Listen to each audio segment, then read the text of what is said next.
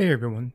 So in this video, I figured I would go over all the new stuff that got included in the 1.5.1 release a few weeks ago, if you haven't already perused through the release notes here.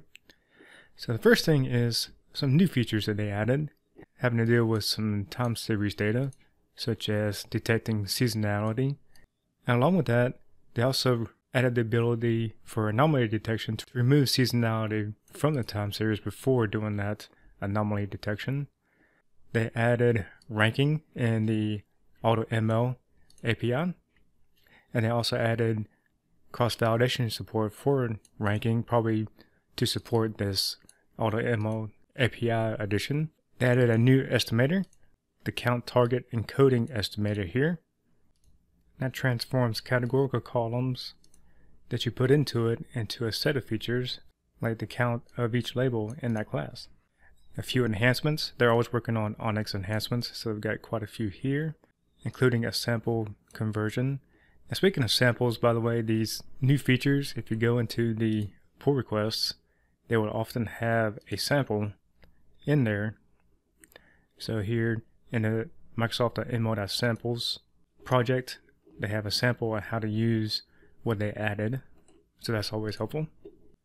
Some new features for old transformers, such as replacing missing values, now has a mode as replacement method instead of, uh, I think, mean, min, and max are the current replacement methods.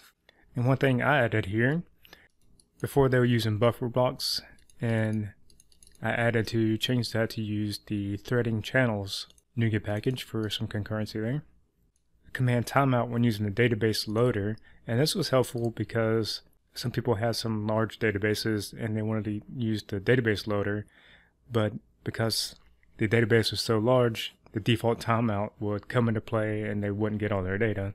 This was so they can specify that timeout so they can wouldn't run into that problem anymore. There's an enhancement to the text loader to load empty float and double fields as as null values instead of just zero. So better for things like to replace missing values can better find those values. A few bug fixes here. Ones I really want to call out here, there are a few. Uh, let's see, improve exception messages, improve error message, and more, and like three different bug fixes to improve error messages. So when you actually do have those messages, you're better, you have more information so you can fix them easier, which is always helpful a few test updates, but also some documentation updates.